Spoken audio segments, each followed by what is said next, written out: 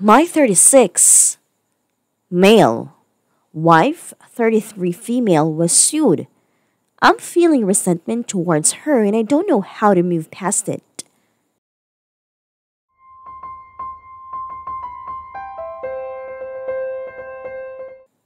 FWIW. This is not a post asking for any legal or financial advice. We already have a lawyer and have help financially. No offense to Reddit, but I'd rather not get any legal advice from a forum, but I'm okay getting relationship advice, it seems. As the title states, my wife was recently sued. She lost, and we had to pay. The money is a significant amount for us. We didn't have much in savings or our emergency fund to begin with, and both of those accounts are now empty. My current problem is trying to move past the resentment and anger I'm feeling towards my wife. Until now, I've always felt like we were a partnership in our marriage. But since I'm the breadwinner, I can't help but feel like I'm spending my money on something that isn't my fault. I've had no problem paying the mortgage and taking care of various financial burdens that come with being a married homeowner.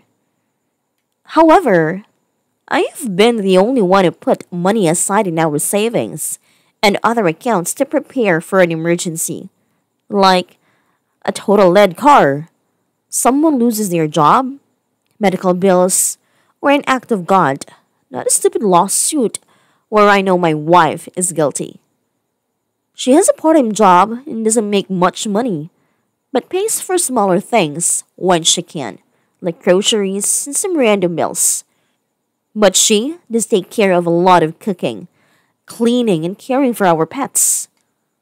What did my wife do? Note, I have no idea this was going on while it was happening. She used LinkedIn to find her former ex best friend. She ended up creating a realistic looking fake LinkedIn profile with a vague occupation or recruiter. My wife ended up sending this ex best friend Laura a few messages pretending to be a recruiter in her line of work. Laura finally responded thinking that this recruiter was real. My wife wanted her phone number, but Laura gave her a personal email address instead. My wife created a second fake LinkedIn profile and started to send messages to people with similar titles as Laura at her company. These messages said derogatory things about Laura, a mixture of truthful things but embarrassing, and just fabricated bullshit to make Laura look bad. Her manager got one of these messages that claimed that Laura was a heavy drink user. Laura's manager talked to her about these messages, and he felt like the messages were bizarre and seemed like someone was trying to troll or harass Laura. Well, Laura's team had her back and helped her save these messages. Not only that, but Laura requested that she be drug tested anyway to provide further evidence that she was clean. My wife didn't know this at this point, but Laura was pregnant. Several of her co workers, including her manager, testified on behalf Laura. Using the personal email address she got from the fake recruiter profile, she was able to find a few social media platforms Laura was on and was able to figure out her husband's name.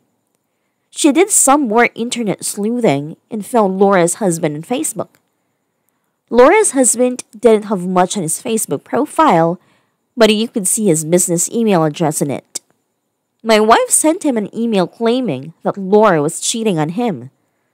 The husband confronted Laura about this email, and Laura encouraged him to keep responding to this person and save the messages, as well as to start asking specific questions about the supposed affair. My wife thought she was being clever and ended up telling the husband that Laura was cheating on him during the work week. She even gave him specific dates.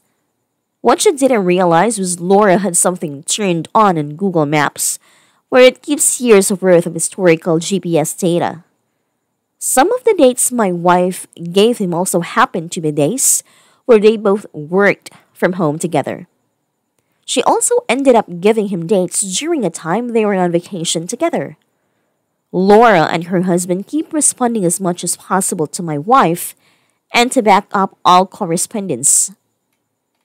My wife was able to find out when and where the baby shower was going to be. One of Laura's friends had created a public registry for her and had an invitation online.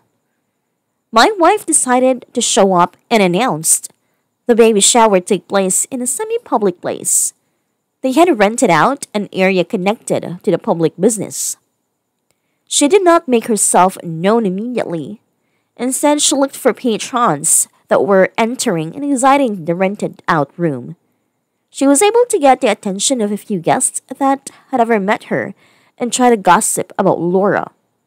My wife was telling people that Laura didn't actually know who the father was among other things. This was at an event where her husband was at as well. The word got back around to Laura, and she spotted my wife and apparently immediately put together all the pieces of what happened. I'm leaving a fair amount of information out. My wife was able to find phone numbers, social media accounts, and email for other people in Laura's circle and sent them messages about Laura on multiple occasions. All the messages were trying to paint Laura in an extremely derogatory light. All the events I've mentioned so far took place over a year or so.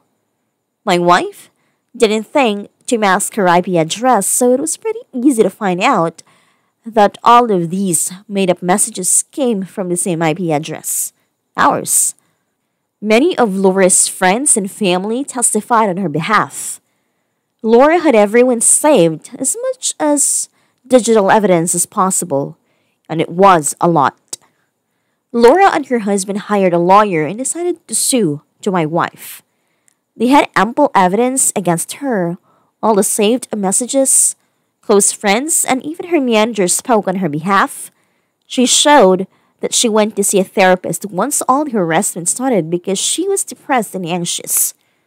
She showed that she and her husband went to counseling after the accusations of her cheating.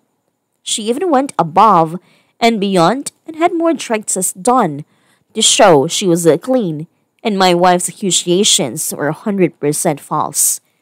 And even had a paternity test done to show that my wife was again wrong and choose to lie. I honestly felt awful for Laura there were lots of tears on her end.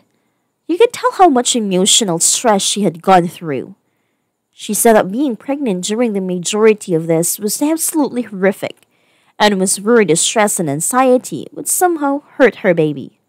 She was pained that her one and only baby shower was ruined by my wife, and that was something that could never be truly repaid or made up for and that my wife's harassment continued after Laura gave birth and was trying to manage a newborn child. My wife has never done anything this crazy before.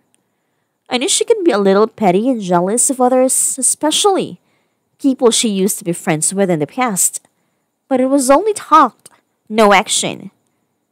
We've had a very happy marriage otherwise. We rarely fight, have a lot in common, we have a lot of fun together.